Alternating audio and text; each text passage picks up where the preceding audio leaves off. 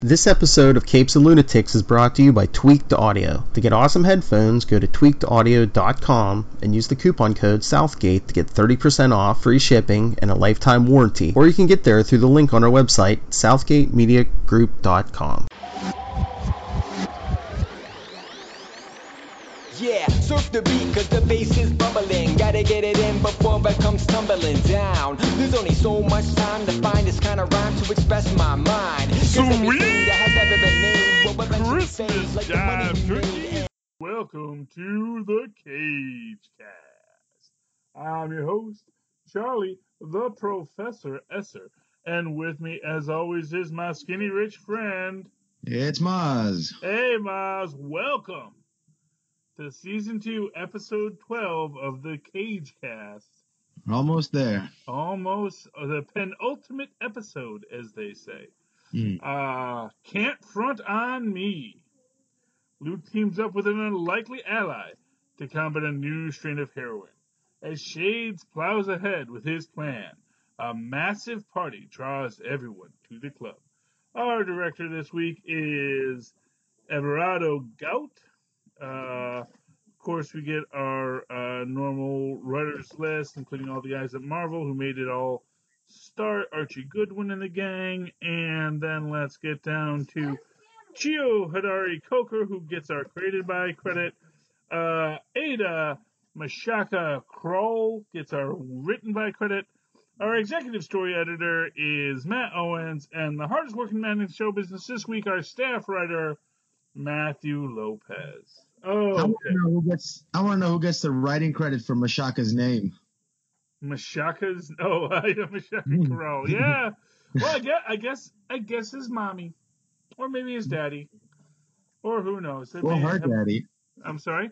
Or her daddy. I, th- I thought that sounded like a lady's name. Yeah, I Ada, yeah, that is a name. So, so someone or you know what, maybe maybe it is a name that uh, Ada Mashaka Croal took herself in later life and Hmm. wanted a name that would just make you think. You know, hey, a lot of writers do right under nom de plumes, so Right, right. Well, that definitely is a name that makes you stop and go, hey, let's talk about this for a second. Well, there you go. There you go. oh, that's going to be a drop. Uh, anyway, so this is uh this is our episode. Um, we get our nice little parallel back to the start of the series. right. Uh, with of course, no longer is our drug of choice called Power Man. Was it called Power Man or was it called Luke Cage? I think it was just called Luke Cage. called Luke Cage. Okay, Luke Cage Luke brand because because you know you know uh, drug addicts they really want that branded merchandise. You know. Right. Uh, but uh, so uh, Luke Cage.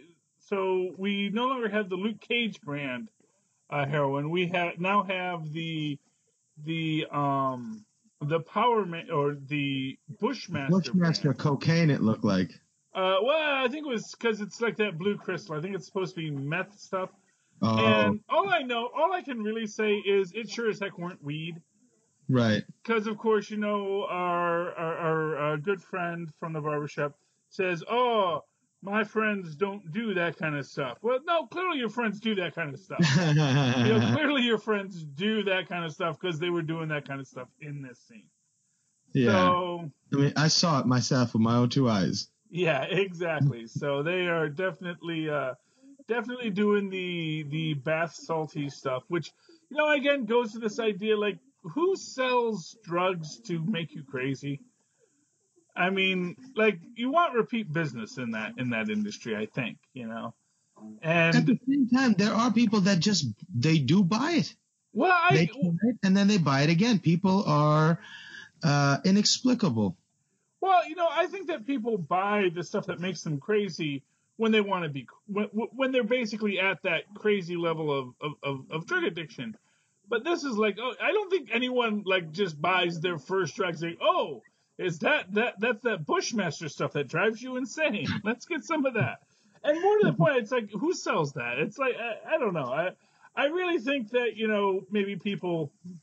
I think maybe it was a plot device, really. Um, Or Mariah probably did it on purpose to have a bad drug out there attached to his name.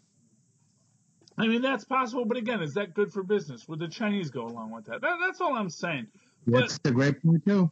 But again, this actually gets to one of these things that I think is like this weird trope of of fiction. It's not just comic books. Um, you know, this idea of the aversion to selling drugs.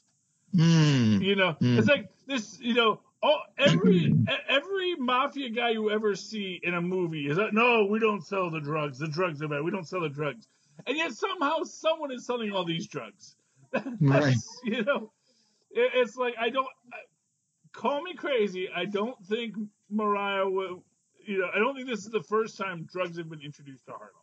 I'm just Right, go out on a limb right. on The that one. CIA did that in the 80s. Yeah, I'm gonna I'm gonna reach out on that. I'm gonna say I think that uh, Mariah maybe did not. This is not the first time drugs were introduced to Harlem. But Right. um, anyway, but we we have this thing where we have to track down who is selling this, and this time it goes really fast um, because of course Suge's on their team. Uh, Right. And you know, you want to know something, you ask a driver. Um, and uh, you know, he basically tells them, you know, that um, the uh, the um, you know that the Chinese have these things, and uh, Luke goes to bust it up, and of course, who should he meet there but uh, Bushmaster, who Right. has come to bust it up as well, and I don't know, I I, I kind of find like. I kind of feel like the team up is really forced here. Yeah, I mean, perhaps I was too busy just being excited. Maybe it's because you know I grew up watching wrestling, and this was Yeah. like the classic story of like the best tag team ever forming out of like the two arguably best guys ever. You know, it's Oh, kind of cool. Well, I, I, mean, I- appreciated it. yeah, I mean, I can feel and for that. second there, I thought somebody was going to get put through a table. I, I was so hoping that they would do like a, a tag team move where one guy picks the guy up and the other guy like choke slams him or something. I don't know. Yeah, I, that made me happy. I mean, I can I can get that, and, and certainly it was a really fun fight to watch. I'm not gonna I'm not gonna argue Yeah. the funness of the fight. I'm gonna argue, and this is something that happens throughout this, which is this weird thing where it's like everyone seems to forgot the heads on pikes earlier this this this season. You know, yeah. everyone's got kind of forgotten about the atrocities. And you know, granted, yes, Mariah's atrocity definitely a worse atrocity. But let's not forget that you know, unbidden. I love you too, Benny. Um, unbidden, you know, uh, freaking Bushmaster was committing atrocities left and right before this. I mean, you know, you know, you, you know, and they're not just the not just gangsters. You know, that's the other thing you got to remember. It's not just gangsters. He kills. He really only killed one gangster. Everybody else, I think he killed. They're all just dudes. You know. Um, you know he. You know the the the guy who ran Atrius Practice Plastics murders him straight up cold blood. Uh, Yeah. the guy who just handles money kills him straight up cold blood. And it's like this is not a nice person. Yeah. And this urge to try and make him a nice person at the end, I think, kind of undercuts it. You know, the idea that Mariah is evil is great, but it's not like we didn't already know Mariah was evil. Right. You know, and not for nothing, her greatest evils are all things that happen when other people are pushing her and have her backed up against the wall. You know, prior to this, you know, before Mariah does, I mean, not anything, but before she really goes nuts, you know, this guy is tying her and his and her her daughter up in a house to set them both on fire. That's know? true. And you know, it's like I I, I kind of feel this redemption arc for. I mean, and here's what I'll say. You see Tilda's take on it, knowing the character from the comics and knowing what her arc is, it kind of makes sense. But like everyone else, like Luke Cage should not be. You know, like Luke Cage saying to him, you know, you kill anyone, then this team up is off. You know, Yeah. it's, it's like yeah, he already killed a lot of people, you know, Luke. It's Like it's like you're asking him not to kill any more for these next five minutes. And of course, you know, and then of course, what does he do? He tries to kill everybody. right. He's gonna burn the place down, you know, with his little incendiary bomb, you know. And uh, and he did actually axe a guy though. Didn't he get a guy in the back with the axe? I mean, that guy's got to be dead. uh, well, I, you can. This is the comic books. You can take an axe to the back, you know. That's true. That's true. That's true. You know, and, and actually, you know, you if you miss the vital organs, you know, there's there's you know, you That's can a fair point as well. You know, it's uh, it got stuck in the rib cage. That's why you got a rib cage. That's the whole reason you have a rib cage to defend against axe attacks. Um, oh man. yes, but uh, so that that's that. Um, we see that Mariah has sort of built up her new little cabal. She's going to be the godmother of Harlem, and she wants to unite all the feuding families to let them into the lucrative, uh, lucrative uh, market of Harlem because you know it's the first time they're allowing drugs into Harlem. It's a very big deal. Uh, Or the first time they're allowing someone other than themselves to bring it in, I think. yeah, I mean that, that. Well, that's yeah, that's certainly another argument. Yes, that. uh, And what I thought was interesting, I mean, like it was a kind of on the nose. Like if you wanted to make, you know, the imperceptible, almost slight subtext of the thing being that she's selling black people's soul, oh yes, make the thing that she's selling called the soul of black people. yeah, yeah. The I it of like- black folk. It, it would have been a cool thing if it was just like, oh, that represents that, and if you know, but probably maybe I would have missed it, but still, just being Yeah. that on the nose kind of took away from it a little bit. Well, you know, I think what's important in that too is that she, as she's selling the souls of black folks, you know, Mm. to let the drugs into Harlem, she's also saying, but remember, it's mine and I want it back. That I get to hang on to it. Because basically, what it's really about is that she already owns the souls of black folks. And Mm. that's sort of the, or at least that's how she sees it. right, she right. owns the souls of black folks, and she will rent them out to the outsiders, but it's still her souls of black folk. So that that I think is the implication there. Mhm. Um, and you know, I, I mean, I think it's a solid implication. Um, I think it's all, I think it's all very, uh, um, you know, understandable for the character that this is how she approaches it. Yeah. And we get in this what I think is also, which I think is a, a, a follow up from last week's episode, which is that um, Shades has decided to turn turn stool pigeon. Well, I mean that that sounds like a, a really ugly word to describe a, a really difficult thing that he chose to do. You know. Yeah, yeah. Oh, I, I'm not denying it, but you know, he's the first one to say, you know, he's a snitch. You know. He's yeah, I know, I know, but that's just because he's feeling down on himself. I think Yeah. what what he's doing is is it's like there were three people that really really loved Harlem. There weren't just two. Shades was one of them, and he had a Hmm. vision for Harlem as well. And Yeah. he's been sort of like shepherding or trying to shepherd that vision into fruition for a long time through many different people. hmm So uh, you know, I think he deserves that. Well, but but I guess what And one what he does is in defense of Harlem every time. You know. hmm And and I think there is there is a fair cop to that, but I also think that you know I, I think that there's a quality to it where you know and here's what I'll say he's turning on Mariah, but I don't know if he's really turning on Mariah. And I'll get to because here, here's the thing. So he first off he gets his proffer, and he doesn't just give them evidence on Mariah. He doesn't Yeah. just say the last three weeks. He decides to go all the way back to season one Hmm. and basically admit to every dirty crime he's ever done. And the logic of this, of course, is is that he can't be held accountable if they correct if they convict Mariah. Right. But then he does something really interesting when we get to the actual final battle. Hmm. He takes the gun that he's there to get from Mariah. Mm-hmm. But the problem is no one ever sees Mariah have the gun. No But, one, he, yeah.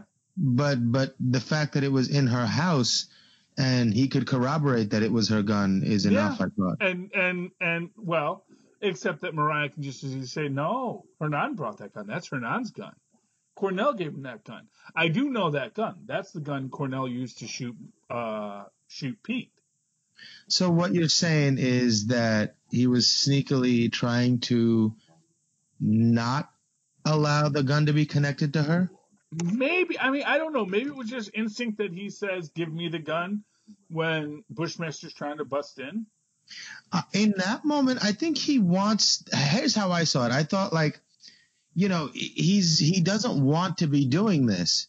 mm-hmm. He doesn't want to be doing this, but also uh, everybody else, and you know, at least the smallest shred of decency comes first, and he has to protect people and he has to protect Harlem. So he doesn't want to be doing this. But when push comes to shove, he doesn't want her to die either. And if the decision has to be made in that moment with nothing else, uh, uh, you know, allowed to weigh in on that decision, he's going to protect her because he does care for her.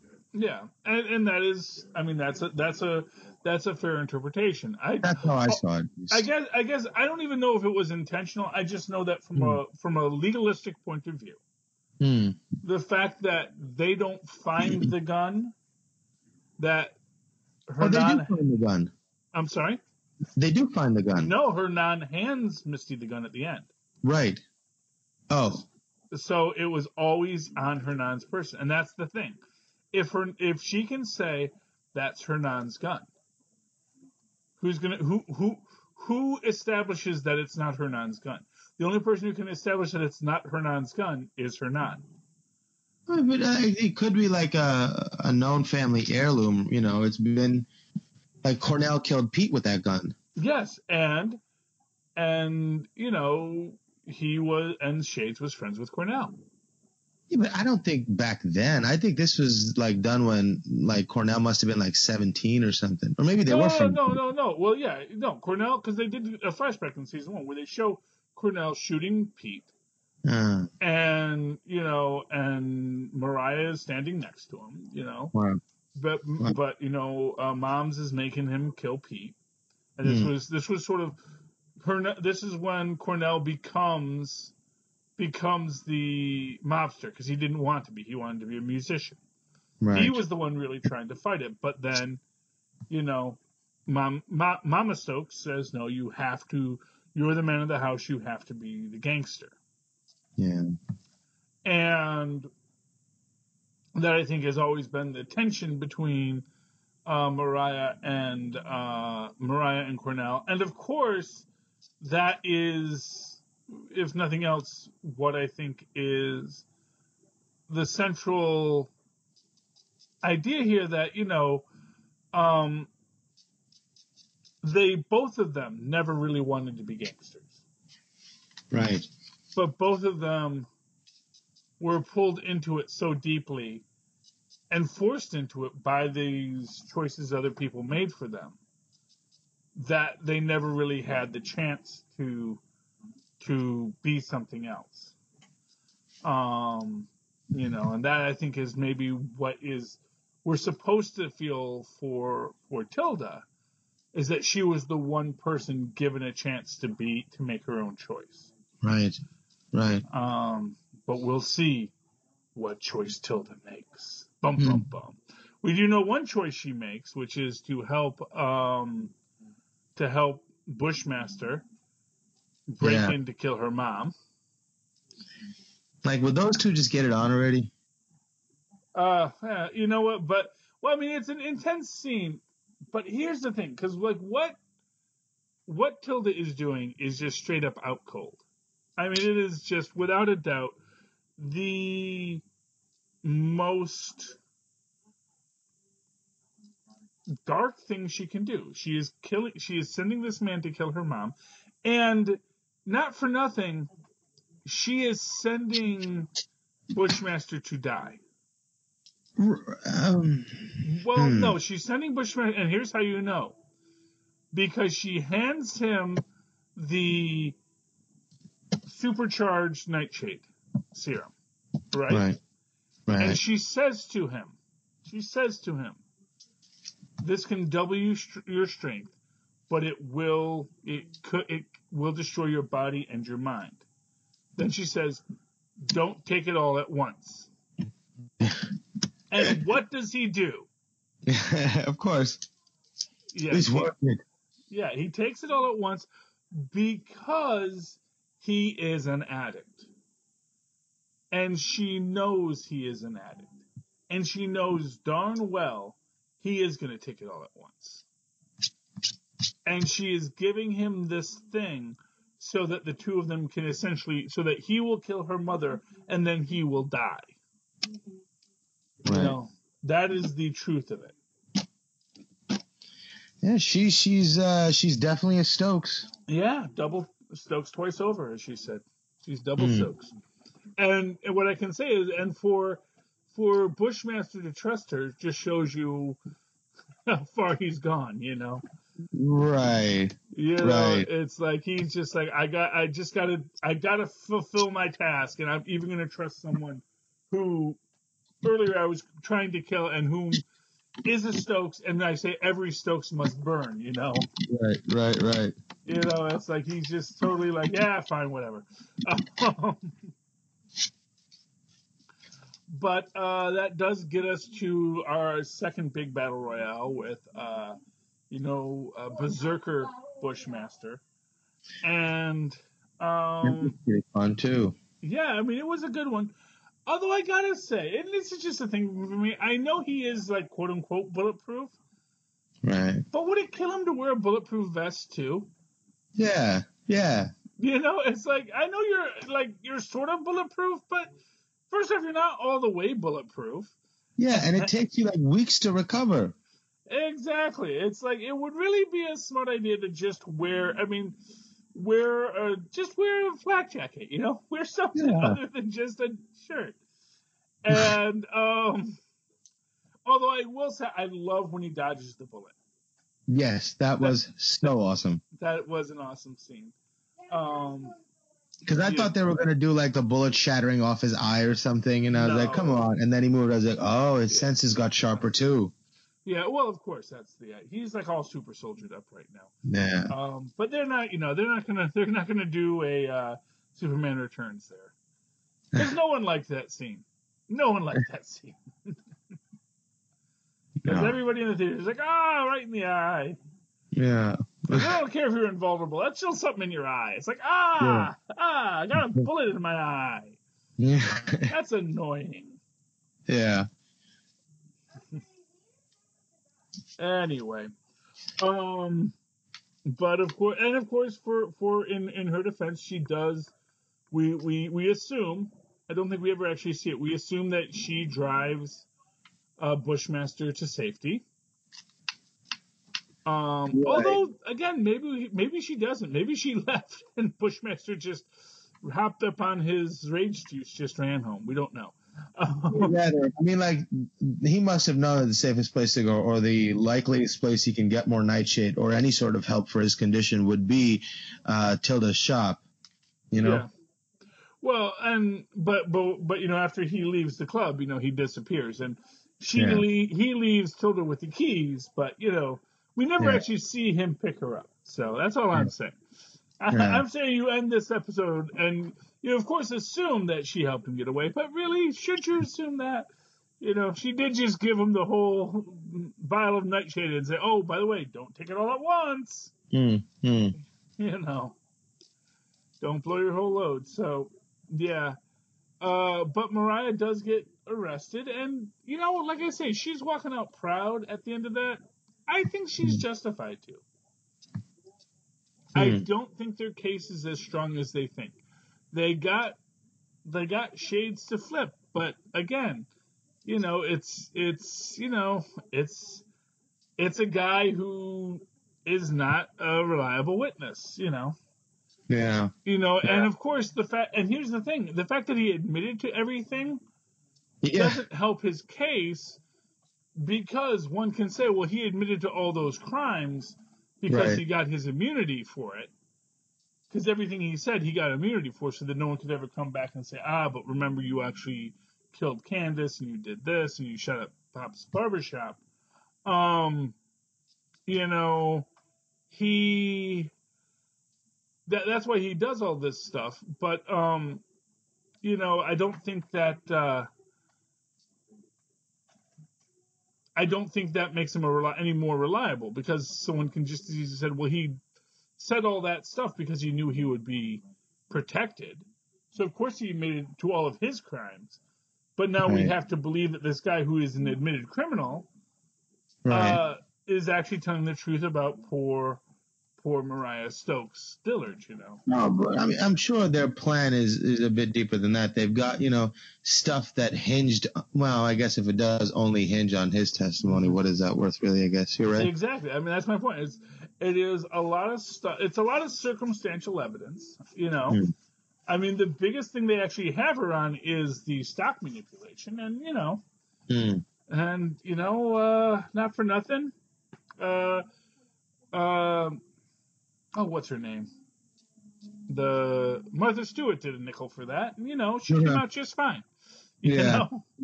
That's the thing. It's like that kind of crime. Yeah, she'll do it. She'll do a nickel for it, and she'll call it a day. You know. Yeah, I, th- I think her uh, her popularity soared much higher after that.